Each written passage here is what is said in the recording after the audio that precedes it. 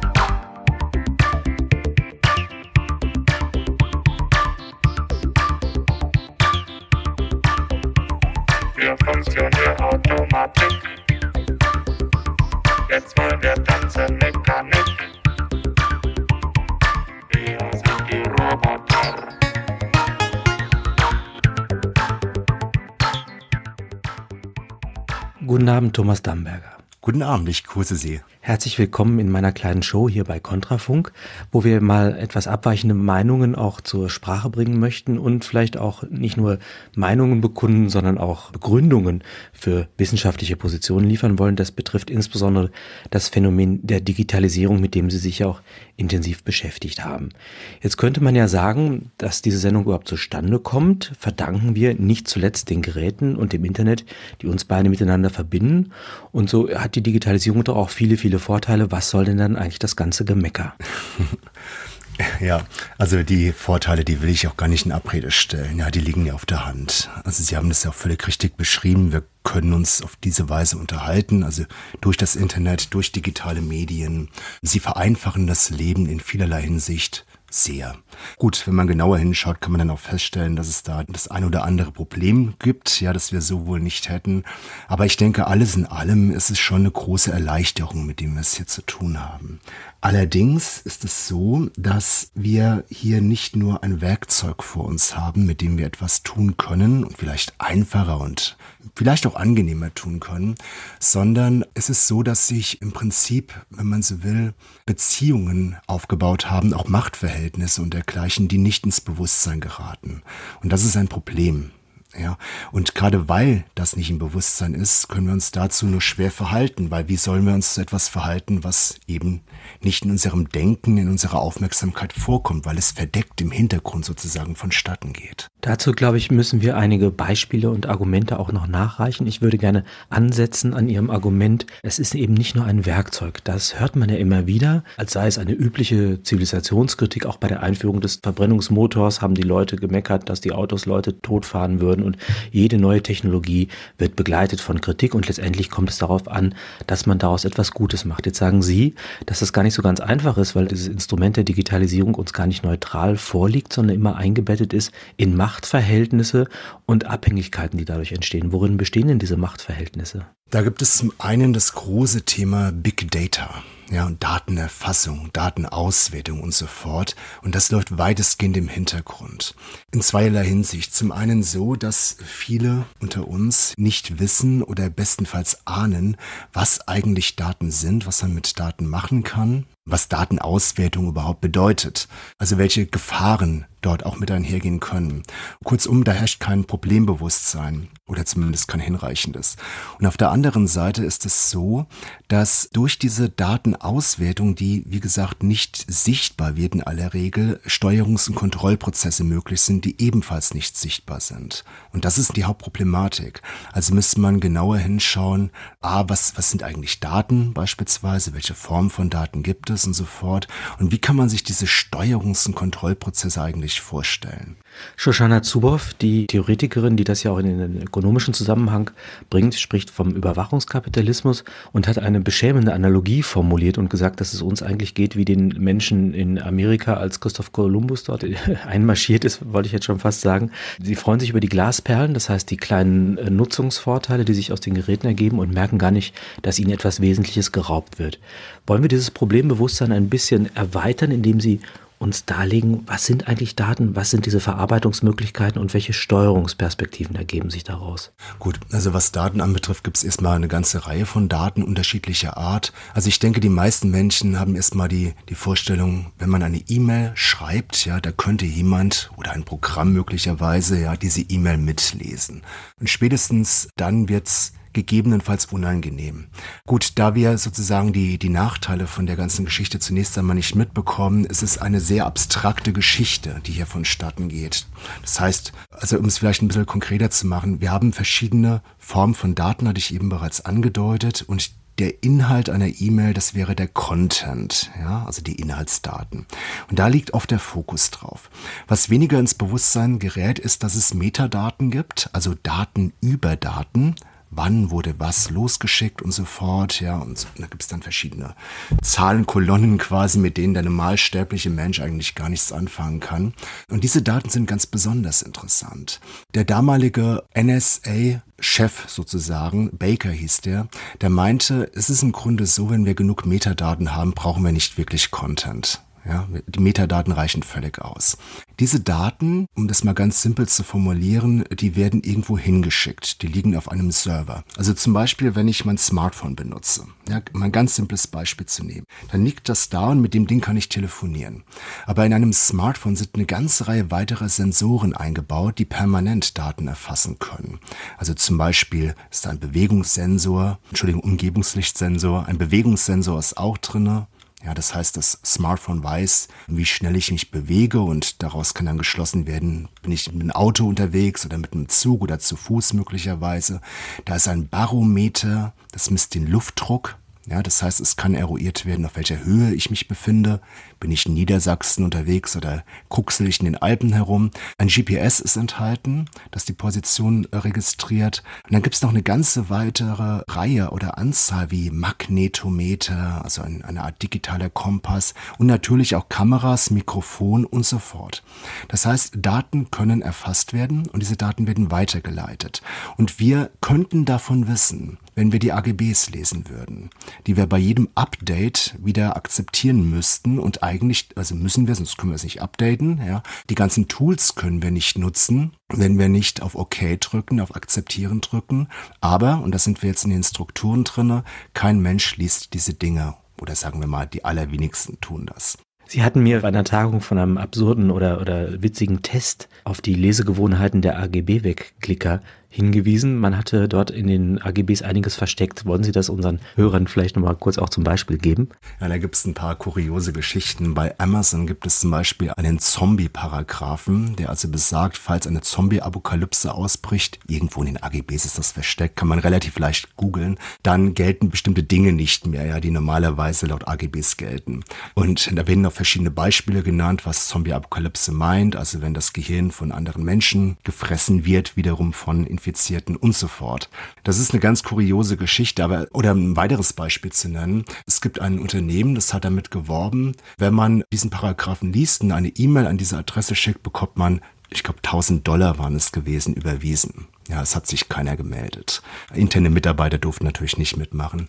Dann gibt es oder gab es vor einiger Zeit einen, wie haben Sie es genannt, Herodes-Paragraphen, der besagte, wenn man äh, bei einem bestimmten Unternehmen, das relativ bekannt ist, ja, dort einen Kaffee trinkt und das WLAN vor allen Dingen nutzt und dann die AGBs akzeptiert, dann erklärt man sich quasi bereit, das erstgeborene Kind diesen Unternehmen quasi zu überschreiben.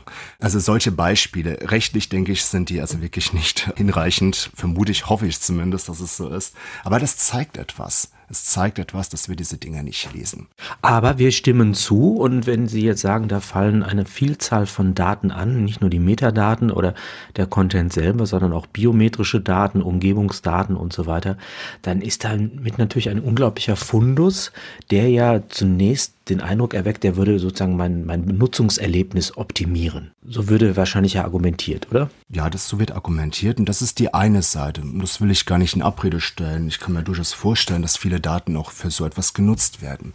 Aber für was werden die Daten denn noch genutzt? Und da lohnt es sich zum Beispiel mal die AGBs von PayPal durchzulesen. Das ist ganz spannend. Dann wird man feststellen, dass diese Daten das kann man aber auch äquivalent bei vielen anderen AGBs machen, ja, dass diese Daten an eine ganze Reihe von Unternehmen weitergeleitet werden. Und das sind Unternehmen, die zum Beispiel ein, ein Scoring erstellen, also Axiom ist ein Beispiel, ja, das ist oft in diesen AGBs enthalten.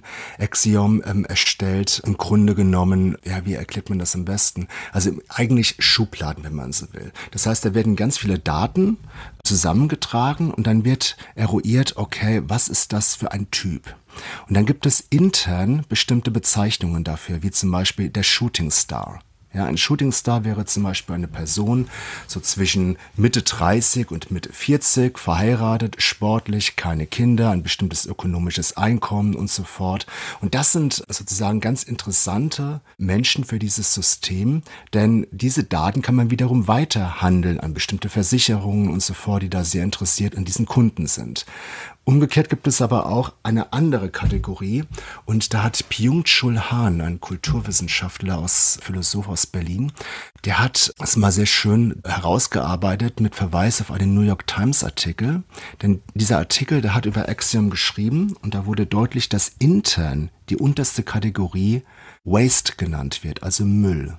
Ja, das sind also Menschen, die also nicht Geld bringen potenziell, sondern Geld kosten und die sind sozusagen oder deren Daten sind völlig uninteressant und damit auch die Menschen, die dahinter stehen, uninteressant. Ja, das heißt also, da wird mit Kategorien, mit Schubladen gearbeitet und diese Daten werden eigentlich permanent gehandelt und das geschieht im Hintergrund. Es ist nicht illegal. Ja, wie gesagt, ist ja in den AGBs drin, man muss es ja nicht akzeptieren.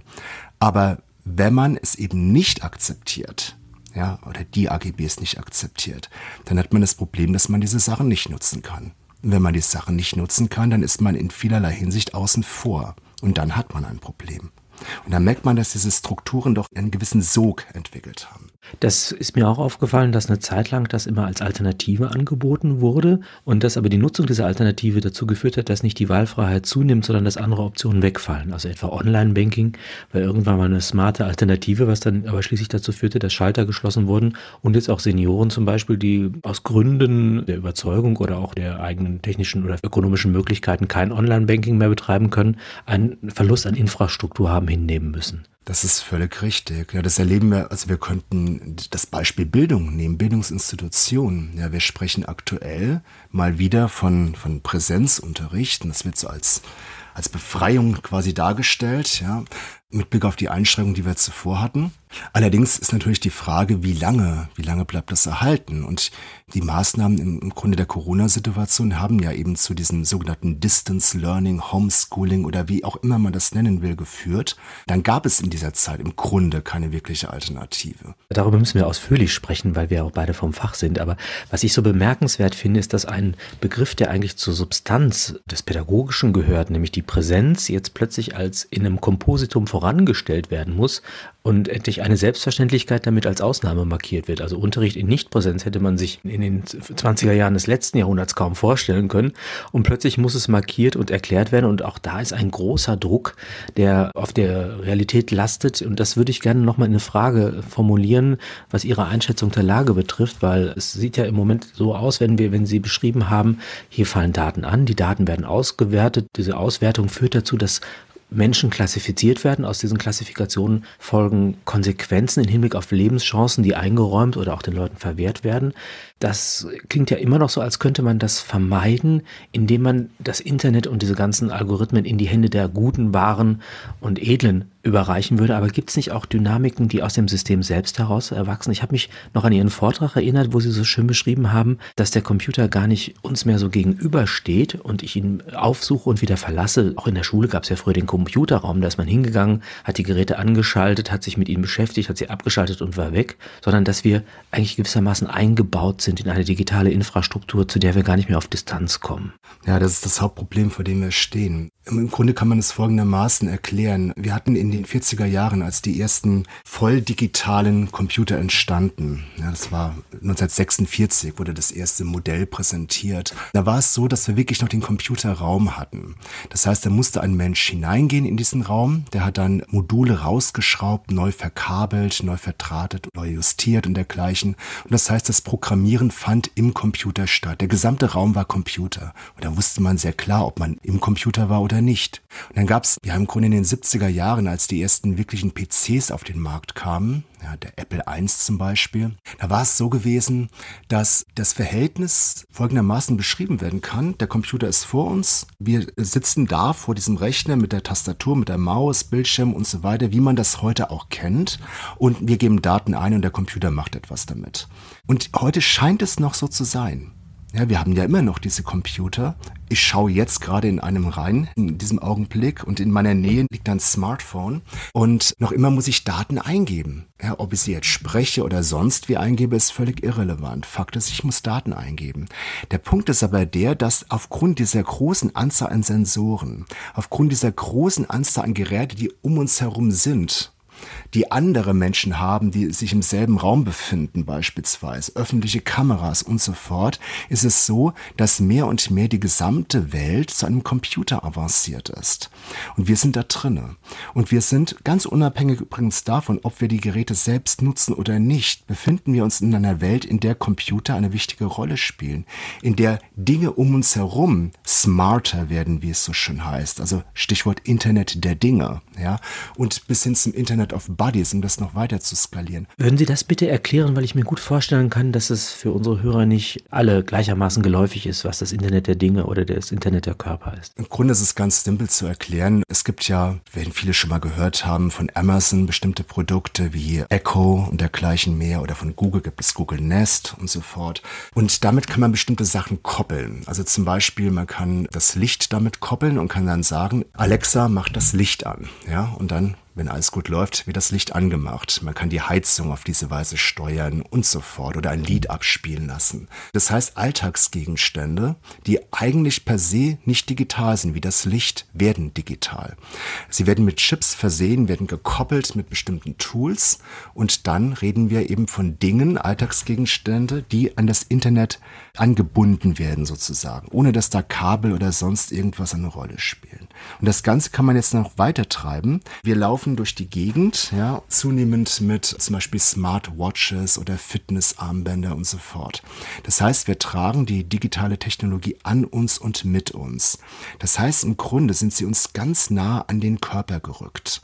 Und wenn man das noch ein bisschen weiter treibt, dann könnte man sich vorstellen, dass diese Gerätschaften auch in unseren Körper rücken. Und siehe da, die ersten Phänomene gibt es bereits. Ja, es gibt Menschen, die sich einen, zum Beispiel einen RFID, also ein Radio Frequency Identification Chip, unter die Haut spritzen lassen. Das kann man zum Beispiel in Frankfurt beim Piercer seines Vertrauens machen. Das ist nicht teuer, ja. Und dann kann man bestimmte Dinge, die Normalsterblichen, die das nicht haben, nicht können. Das heißt, man kommt in bestimmte Gebäude zum Beispiel mit diesem Gerät hinein, also mit diesem implantierten. Man könnte sich auch vorstellen, bargeldlos zu zahlen. Auch das wäre denkbar und vieles andere. Im Zuge der Corona-Situation, mal ein Beispiel zu nehmen, war ja eine Debatte, darf man einfach so in, ja, ins Restaurant oder sonst wo rein, ohne dann einen Test vorzuzeigen. Und dann hieß es zeitweise zumindest, nee, man muss dann einen Nachweis erbringen und man könnte so einen Nachweis zum Beispiel mit Hilfe eines solchen implantierten Chips auch erbringen. Ja, das wäre zum Beispiel das Internet of Bodies, von dem wir jetzt hier reden. Ich habe das mal versucht auf eine Metapher zu bringen und habe von einem Exoparasiten gesprochen, der sich in unseren Körper einnistert, der schießt dann so weiße Tentakel in unsere Ohren, verlangt von uns gestreichelt zu werden und, und saugt uns Daten ab. Und wir müssen nur mal dran denken, wenn wir in den Urlaub fahren, dass wir eigentlich gar nicht nur für uns Versorgungsinfrastruktur mitnehmen, sondern auch jede Menge Kabel und vieles andere, um diesen Parasiten auch zu nähren. Und dieser Parasit, der gerät nun auch unter unsere Haut, so steht es zu befürchten. Und wenn wir das mal ein bisschen auf ein Fazit bringen können, heißt das, dass wir längst die Distanz verloren haben im Hinblick auf die Nähe. Diese Geräte sind in unser Körperschema gewissermaßen integriert, sodass wir ein Amputationsgefühl verspüren, wenn wir unser Handy mal nicht dabei haben oder es irgendwo liegen gelassen haben. Und dass man auch im Scherz schon sagt, ja, müsste man möglicherweise auch die Jugendlichen operativ trennen von ihren Geräten, damit sie wieder ein freies Leben führen können. Das heißt also, wir sind hier in eine Infrastruktur hineingeraten, die uns einerseits eine Erleichterung des Lebens verspricht, andererseits neue Abhängigkeiten erzeugt und auch unseren Machtzuwachs nicht nur unbedingt zum Ausdruck bringt, sondern uns auch in eine Unterwerfungssituation geraten lässt. Nun ist es üblich in meiner Sendung, dass sich die Gäste einen Liedtitel wünschen dürfen und sie haben sich da auch etwas sehr, ja, Pathetisches und erschreckend Reflexives gewünscht. Wir werden den Titel jetzt hören und dann gemeinsam darüber sprechen. Ich bin sehr gespannt, was Sie dazu bewogen hat, diesen Titel auszuwählen.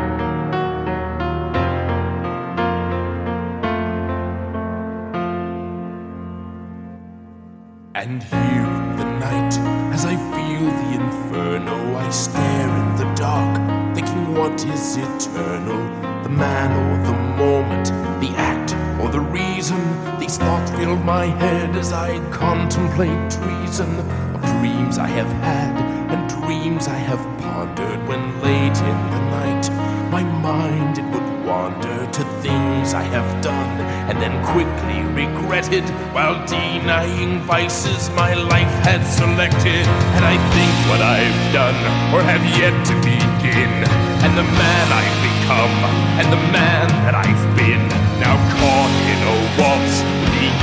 Eternal dancer, I'm courted by death, but death isn't the answer, I say. All I was meant to be. Could I suddenly just decide not a thought would survive. Could it be my life's worth ended there with my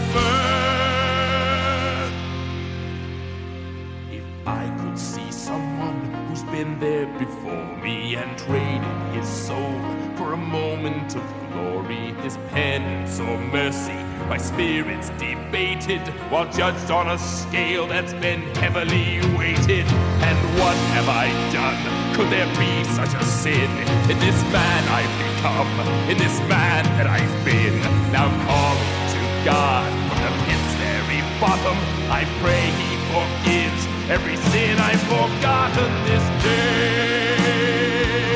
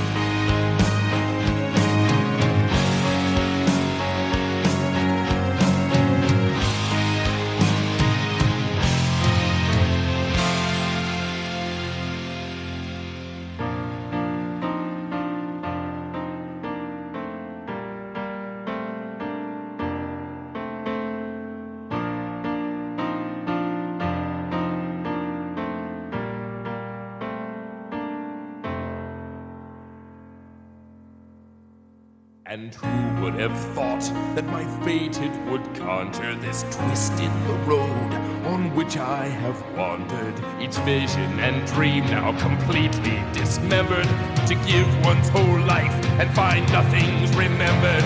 And what good's a life that leaves nothing behind? Not a thought or a dream that might echo in time. The years and the hours, the seconds and minutes, and everything that my life has placed in it betrayed,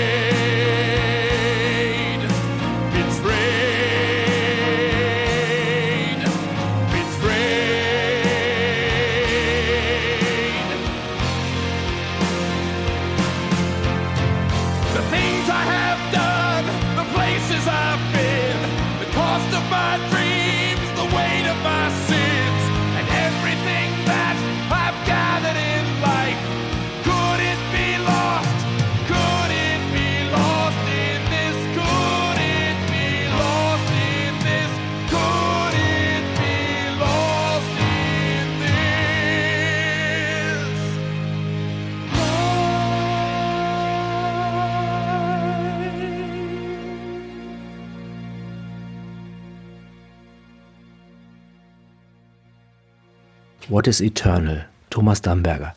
Was hat Sie bewogen, diesen Titel vorzuschlagen für diese Sendung? Ja, ich habe mir äh, wirklich viel Gedanken gemacht, welchen Titel ich wähle und freue mich auch, dass ich mir einen aussuchen durfte. Und am Ende mich eben genau für diesen entschieden. Und der Hintergrund ist der, es geht mir um die existenzielle Erfahrung. Also um etwas genuin Menschliches, ohne dass ich mir überhaupt das Leben gar nicht vorstellen kann. Im Grunde ist es doch so, dass wir zumindest an den Grenzen unseres Daseins diese existenzielle Erfahrung immer haben. Also Stichwort Geburt und Tod. Na gut, an die Geburt kann man sagen, können wir uns in der Regel nicht erinnern, aber mit Blick auf die Endlichkeit ist es dann doch so, dass wir sie im Blick haben. Und die Tatsache, dass unser Leben ein endliches ist und dass es nicht nur erst endlich sein muss, wenn wir 70, 80 Jahre alt sind, sondern dass es im Grunde jeden, jeden Moment eigentlich schon enden könnte.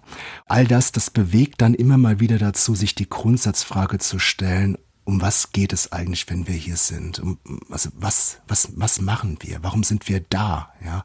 Welche Spuren will ich hinterlassen am, am Sand der Gezeiten, wenn man mal dieses Bild bemühen darf? Und es gibt Situationen, da wird diese, diese Frage extremst stark und wirksam, dass sie uns fast in die Verzweiflung hineinführt. Und das ist nicht leicht, unbestritten. Aber es ist dann doch mir, mir persönlich immer noch um einiges lieber, dass diese Frage so wirksam wird zuweilen, zum, zum Teil auch so erschreckend dominant wird, ist es mir immer noch lieber, als in einen Funktionalismus überzugehen, in dem alles ganz wunderbar mehr oder weniger gut hinhaut, in dem ich ein Rädchen an einem großen Getriebe bin, ja, das selbst auch irgendwie funktioniert wie eine gewaltige Maschine, aber das, um was es im Kern im Menschsein geht, eigentlich nur noch eine Marginalie, vielleicht gar keine Rolle mehr spielt. Ich lese gerade mit meinen Studenten Blaise Pascal die Gedanken und da geht es ja um die Zerstreuung, die dadurch erforderlich wird, scheinbar, dass es einem Menschen nicht möglich ist, in einem Raum zu sitzen und zu ertragen, dass er sich selbst und dem Kosmos ausgeliefert ist und dann würde er möglicherweise vor diese existenziellen wesentlichen Sinnfragen gestellt und so müsste man dann auch in Hinblick auf unser Thema, nämlich die Digitalisierung, fragen, ob das nicht auch eine Zerstreuungsmaschine ist, in die wir uns dann ankoppeln, um diesen Fragen zu entgehen. Sie haben mich vertraut gemacht mit einem kleinen Text von E.M. Forster, Die Maschine steht still, ein Roman, der ich glaube schon 100 Jahre alt ist, ja, also über 100 Jahre und trotzdem vom Internet handelt. Wollen Sie unseren Zuhörern ein wenig auf den Geschmack bringen, worum geht es in diesem Roman? Ja, gerne. Ich bin auch durch Zufall wirklich darauf gekommen, auf diesen Roman. Es ist so, er spielt in der Zeit, von der wir eigentlich gar nicht wissen, welche Zeit gemeint ist. Es ist eine Zukunft, ja. Aus der Perspektive, wie gesagt, 1909 in etwa. Und diese Welt kann man sich so vorstellen, dass die Menschen nicht mehr auf der Erde leben, sondern sie leben unter der Erde in wabenförmigen Zimmern je für sich allein. Der Grund liegt darin, dass man auf der Welt nicht mehr leben kann. Sie ist nicht mehr lebenswert geworden und ähm, bietet auch kein Leben mehr. Ja, Gase, verbrannte Erde und so fort. Bäume gibt es keine mehr. Die Menschen leben also unterirdisch für sich alleine, erleben aber dieses Alleinsein nicht. Das heißt, sie werden, so, sobald sie erwachsen sind und ein Erziehungsheim oder eine Erziehungsanstalt hinter sich gebracht haben, zugeteilt einer frei gewordenen Wabe. Und dort haben sie alles, was sie brauchen. Ja, sie sind, wenngleich sie, wie gesagt, alleine dort sind in der Situation, dass sie mit allen möglichen Menschen vernetzt sind über eine Maschine. Sie können mit ihnen kommunizieren, sie können sie auch sehen, sie hören sich Vorträge an und geben selbst welche, womit wir wieder beim Stichwort Distance Learning gegebenenfalls sind. Aber mehr noch, es ist nicht nur das, das Spannende, dass der Computer noch gar nicht erfunden war, noch lange nicht. Es ist auch nicht das Interessante, dass das Internet noch nicht erfunden war, sondern die Rede ist auch hier vom Internet der Dinge. Über Knopfdruck und das Bewegen eines Hebels erscheint Bett und Badewanne, was auch immer man braucht. Die Menschen bewegen sich nicht mehr großartig, sondern sie sitzen auf dem Sessel, der sich dann wiederum mechanisch bewegt über die Maschine. Und die Maschine sorgt für Luftzufuhr, für Nahrung, für alles, was relevant ist für das Leben dieser Menschen, die eben in gewisser Weise schon längst Teil dieser Maschine geworden sind. Und das Spannende ist, sie verstehen diese Maschine nicht mehr. Sie wissen sehr wohl, dass Menschen diese Maschine gemacht haben, aber das war irgendwann mal gewesen und sie haben diese Funktionsweise der Maschine selbst nicht begriffen.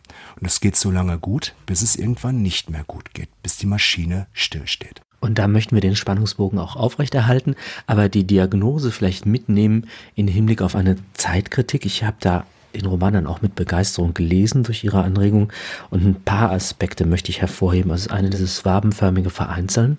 Wir sprechen viel von sozialen Medien, aber wir treffen halt gar keinen anderen, sondern nur den visuell aufgehübschten Avatar eines weiteren Einsamen letztendlich dann wird immer wieder von der Vermeidung von Primärerfahrung gesprochen. Also dass sozusagen die maschinell vermittelte Information mehr bedeutet als die tatsächliche Wahrnehmung von Welt. Das ist geradezu verpönt, mit Wirklichkeit in Kontakt zu kommen.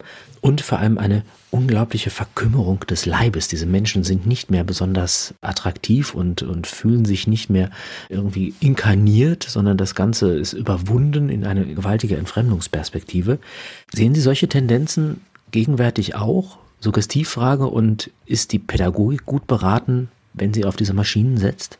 Also die Antwort ist ja, natürlich, also was die erste Frage anbetrifft. Ja.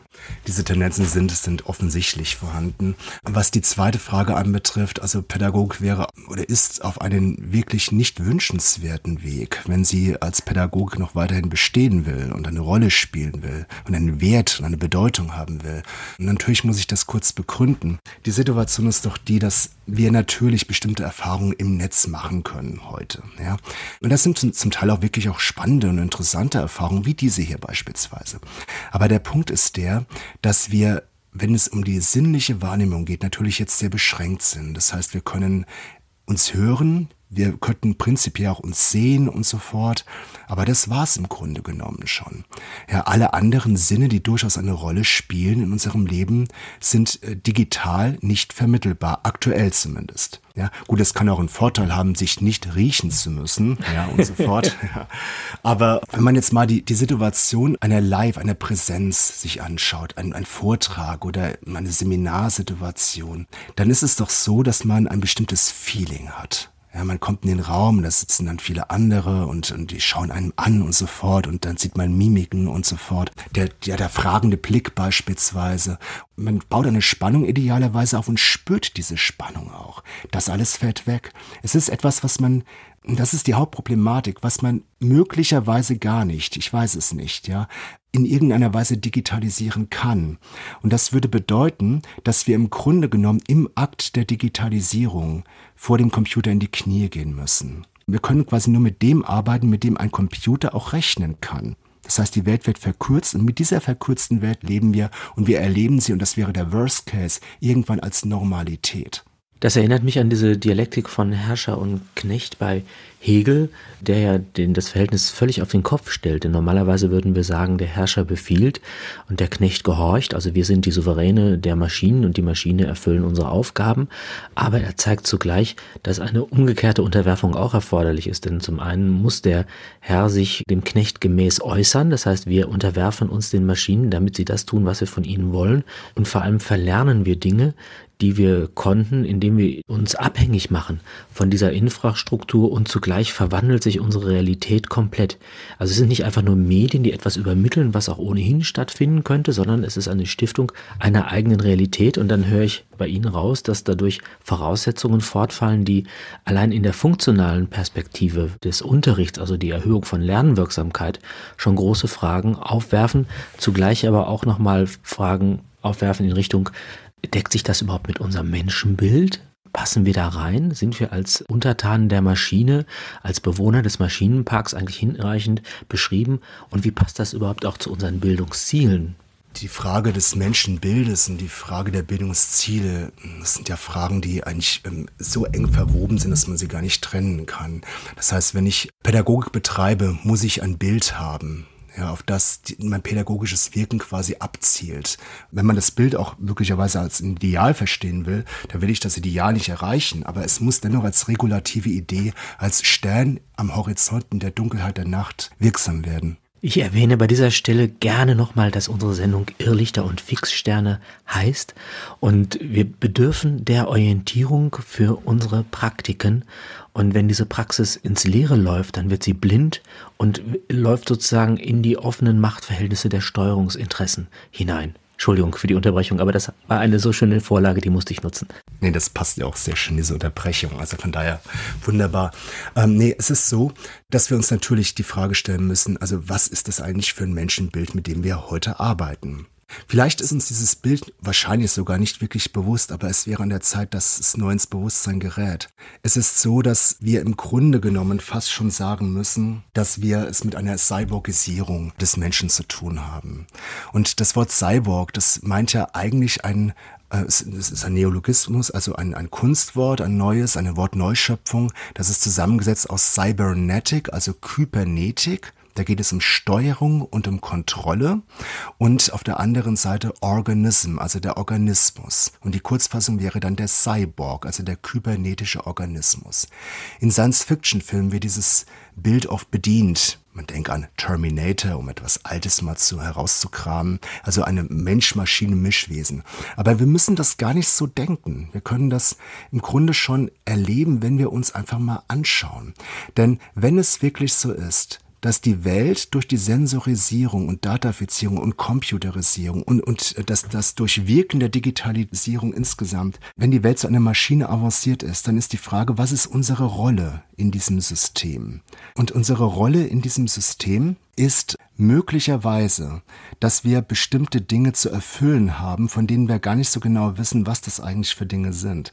Das klingt jetzt sehr sibyllinisch, aber was ich damit meine ist, wenn auf Basis der Daten, die erfasst werden können, sehr genaue Profile von uns entwickelt werden können, wenn mit diesen Handel betrieben wird, dann läuft das ja auf etwas hinaus. Zum Beispiel, dass wir eben auch gesteuert werden können Shoshana Zuboff hat ja sehr klar darauf hingewiesen, dass wir auch gesteuert werden, aber so, dass wir die Steuerung als Steuerung nicht wahrnehmen, dass wir uns also frei wähnen, es aber faktisch nicht sind. Wir sind gute, idealerweise gute Rädchen in diesem großen System. Wir machen das, was wir tun sollen.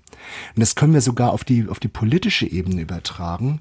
Ein ganz simples Beispiel ist Deepfake. Deepfake, müsste man auch kurz erklären, das ist nicht Fake News, sondern Deepfake meint, äh, dass man künstliche Intelligenz einsetzt, um fotorealistisch und so weiter Videos zu erzeugen. So wie es der Ministerin mit dem Klitschko ja, Videokonferenz genau. gegangen ist, ne? Das wäre ein Beispiel, ja. Und vor einiger Zeit war es so, da hat man die, die Queen Elizabeth, hat, die hat man dann eine, Weit eine Weihnachtsrede halten lassen und sie hat dann plötzlich angefangen, sie aus dem Nähkästchen zu plaudern, was schon sehr ungewöhnlich war. Und dann fängt sie an zu tanzen. Das ist ein Deepfake. Das heißt, man hat eine Frau, eine junge Frau hingesetzt, hat aber hat sie auch erzählen lassen und hat die Stimme der Queen und ihr Äußeres drüber gelegt. Und zwar so, dass man beim besten Willen keinen Unterschied erkennen konnte.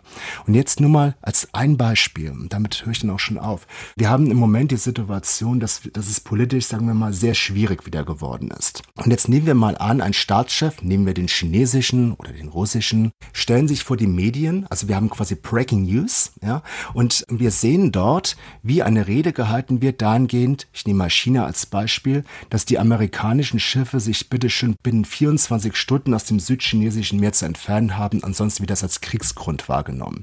Das könnte Deepfake sein, absolut realistisch. Und wenn wir wissen, wie die Medien funktionieren, da geht es um Geschwindigkeit, um Klickzahlen, es muss schnell verbreitet werden und so fort, dass die Leute das anklicken, dass Geld verdient wird. Und auf diese Weise können wirklich Weltkriege im schlimmsten Fall entzündet werden. Die meisten Leute wissen aber nicht, was Deepfakes sind und können sich nicht vorstellen, dass so etwas wirklich wirksam werden kann. Das ist ein Beispiel für diese Problematik, vor der wir stehen. Das heißt, es wäre naiv zu glauben, dass es noch zwei geschiedene Sphären gibt. Die eine analoge Realität und das andere wäre dann die digitale Virtualität und die, die kann man unterscheiden, sondern es ist so, dass wir eigentlich eine Art ontologischen Druck auf der vermeintlich analogen alten Realität spüren, der ausgeht von diesen neuen Formen des Visualisierens, der, der Digitalisierung. Mir ist noch ein anderes Beispiel eingefallen, das betrifft den Erkenntnisprozess. Wir gewinnen ja Wissen durch algorithmische Analysen auf der Basis von Big Data, von dem wir irgendwie davon ausgehen müssen, dass das eine bestimmte Geltung haben könnte. Also ich habe gerade gehört, dass etwa Google und auch der amerikanische Gesundheitsministerien sich Gedanken machen, wie man Krankheiten vorhersagen kann und dann auch mit einer bestimmten sehr hohen Trefferwahrscheinlichkeit intervenieren kann zu einem sehr frühen Zeitpunkt. Ob das wünschenswert ist oder nicht, ist nochmal eine zweite Frage. Der Punkt ist der, wir haben da eine Äußerung, die wie bei einem Orakel aus Delphi auf jeden Fall zutreffend zu sein scheint und uns bleibt eigentlich nur noch über, das anzuerkennen, ja, wie, wie diese Menschen in dem Roman von Foster und können aber nicht mehr nachvollziehen, wie sie zustande kommt. Das heißt, das Paradigma der Aufklärung, nämlich dass wir unter Zuhilfenahme des eigenen Verstandes aus, auf der Basis von Vernunftgründen zu Überzeugungen kommen, die wir auch zur Disposition stellen, ist völlig außer Gefecht gesetzt, sondern wir geraten in eine Art vormoderne Glaubenskultur, wo wir einen Orakelspruch hinnehmen, als, als wahr, nicht mehr nachvollziehen können und uns nach ihm richten, weil wir befürchten müssen, dass er stimmt. Ich weiß das von, als Problem von, von Landwirten beispielsweise, die sich fragen, ja, soll ich jetzt auf mein Gespür vertrauen, was den Zeitpunkt der Ernte angeht oder auf die Wetter-App? Wer hat da eigentlich mehr Recht? Und sobald auch diese, diese Dominanz dieses Algorithmus im Raum steht, erfinden wir eine ganz große Irritation, die auch unser Weltverhältnis erschüttert und die Gefahr, dass wir möglicherweise zu Sklaven oder äh, Gehorsamsleistenden Objekten eines, eines digitalen Regimes werden, scheint mir durchaus schon gegeben zu sein, selbst heute. Wir sind noch gar nicht bei den Zukunftsvisionen. Ja, richtig. In der Debatte um Big Data beispielsweise, ähm, da, da gab es eine, eine Form oder eine Weise, Big Data zu erklären durch verschiedene Vs. Ja, ein V ist zum Beispiel Volume, das ist die Datenmenge, ja, oder Velocity, das ist die Geschwindigkeit, mit der Daten erfasst werden können und weitergeleitet werden. Da gab es anfangs vier Vs, das hat sich dann erweitert. Mittlerweile gehört zum Beispiel Veritas, also Veracity dazu, der Wahrheitsgehalt. Und das bedeutet, wir können nicht überprüfen, ja, ist das zutreffend? Wir wissen ja gar nicht, welche Daten wie genutzt werden, wie weiterverkauft werden, auf welchen Servern die sind, auf wie, wie viele Kopien es von den Servern äh, gibt und so fort. Und wenn wir nicht wissen, welche Daten wo sind, was Daten überhaupt sind, wie können wir uns dann dazu verhalten? Wie können wir ein Urteil darüber fällen, ob das zutrifft, was auf Basis dieser Daten ausgewertet und uns dann vor die Nase gesetzt wird. Also man könnte ja zum Beispiel eine ganze Kultur aufgrund einer KI-Prognose im Hinblick auf die Gefahr eines Viruses über mehrere Jahre kaltstellen, soziale Bindungen unter, unterbinden, Wirtschaft ruinieren und so weiter und so weiter. Und das würde nicht mehr einen politischen Prozess zulassen. Also ist das nicht das Ende des Politischen? Ja, das ist das Ende des Politischen. Das ist richtig. Und gleichzeitig eine Chance. Weil in dem Moment, in dem uns das bewusst wird, was hier möglich ist und vielleicht sogar auch geschieht, ja, in welcher Weise auch immer und wo auch immer, dann haben wir die Chance, uns dazu verhalten zu können. Wenn diese Problematik, diese Gefahr sichtbar wird, dann, und da sind wir quasi bei Hölderlin wieder, dann haben wir die, die Chance, dass das Rettende eben sichtbar wird, was daraus erwächst. Das heißt, wir können es thematisieren, wir können anfangen, Fragen zu stellen, wir können anfangen, hinzuschauen, einen Diskurs zu führen und so fort, wenngleich wir jetzt noch keine Lösungen haben, natürlich nicht, und auch keine Alternative vielleicht vorweisen können. Aber wenn die Fragen da sind, wenn der Stachel des Zweifels sozusagen wirksam wird, ja, dann wird's interessant. Ja, und ich bin eigentlich auch ganz optimistisch. Zum einen erlebe ich ein großes Heimweh nach der Wirklichkeit, gerade bei den jungen Leuten. Die sagen also, diese ganze digitale Schule war fürchterlich. Ich freue mich sogar wieder mal auf den Mundgeruch und den Speichelwurf meiner Lehrerin in der ersten Reihe, weil das irgendwie was Echtes hat. Zum anderen denke ich auch, dass der Energieaufwand dieser ganzen Systeme in Zukunft die Frage aufwirft, ob wir uns dieses ganze Geblinke und Gepieps überhaupt noch leisten können und wollen oder ob wir nicht zurückkehren möchten zu etwas anderem, woraus wir viel mehr Kraft beziehen. Wir sind schon fast am Ende der Sendung und gleichwohl möchte ich von Ihnen doch auch mal Ihre Prognose oder Ihre Perspektive hören. Ist das Ganze wie ein naturgemäßer Vorgang unausweichlich alternativlos? Gibt es Möglichkeiten der Intervention oder wie schätzen Sie das ein? Ja, das ist eine ganz, ganz schwierige Frage. Ich bin ein bisschen in Sorge, etwas zu sagen, was jetzt so apokalyptisch wirkt. Ja, aber ich denke, dass wir die Problematik haben, dass wir durch äh, eine reine Aufklärungsgeschichte aus der Nummer eigentlich gar nicht rauskommen ohne weiteres, weil wir viel zu wenige erreichen. Mir ist durchaus bewusst, dass es eigentlich nur wenige bedarf, die sehr aktiv und sehr aufmerksam sind, um vieles bewirken zu können. So und von daher ist da schon wieder eine Chance da. Auf der anderen Seite ist es aber so, dass ich denke, dass gerade weil so ein unglaubliches Unwissen besteht. Wir reden zum Beispiel von der Medienkompetenz, ja, und da ist ein Aspekt die Medienkunde. Das ist eine Dimension, die ist ganz wesentlich. Wenn ich keine Medienkunde habe, kann ich auch nicht medienkritisch sein. Wenn ich einen Raum habe und nehme die Höhe weg als eine Dimension, habe ich keinen Raum mehr. Also das entscheidende Moment ist, dass wir dort ansetzen. Und die Frage ist, reicht das sozusagen aus oder ist es nicht so, dass das System, wie wir es im Moment haben, kollabieren muss? Mir scheint es so, dass die Maschine wirklich ins Wanken kommen muss, dass sie wirklich an, an einen Stillstand gelangen muss, dass ein Aufwachprozess stattfindet aus einer Notwendigkeit heraus. Aber das muss nicht der Untergang sein. Im Gegenteil, ich würde sogar sagen, das ist die riesige Chance, die wir haben, weil wir dann genötigt werden, alternativ zu, diesen, zu dieser Funktionalität, die uns umgibt, deren Teil wir schon geworden sind, etwas zu eröffnen. Und da würde ich ansetzen. Das war Irrlichter und Fixsterne bei Kontrafunk. Falls Sie etwas verpasst haben oder die Sendung gerne noch einmal hören möchten, darf ich Sie darauf hinweisen, dass es heute Abend um 23.05 Uhr eine Wiederholung gibt. Vielen Dank, Thomas Damberger. Vielen Dank, liebe Hörer. Bis zur nächsten Sendung. Ihr Matthias Burchardt.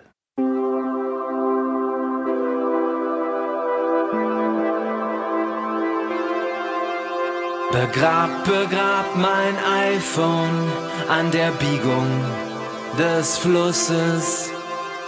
Da, wo in der Mitte der Gesellschaft eine Kausalkette entspringt. Fahrt mein Wagen in die Wüste und lasst ihn stehen, wo der Tank endet. Blast meine geheimen Nummern in die Wolken, die vorbeiziehen zieht mein Gesicht in den Sand und handelt mit meiner DNA. Zieht Kornkreise in die stehenden Felder meiner Biografie.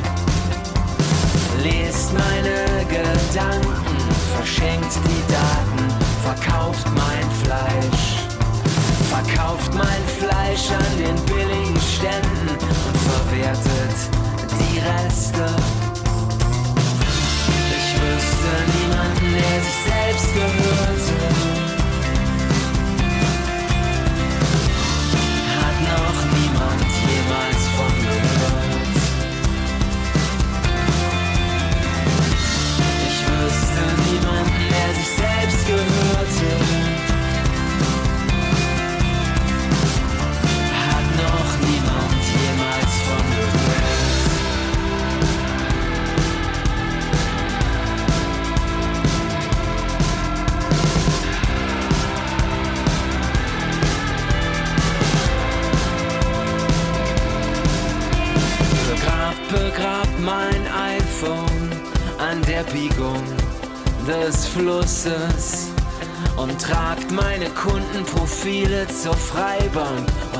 Häuft euch einen Zuckerberg. Weint mit euren Steuerberatern, mit euren Finanzdienstleistern, bestattet eure Altersvorsorge auf Wendung in der Luft und singt vom Dispo der totalen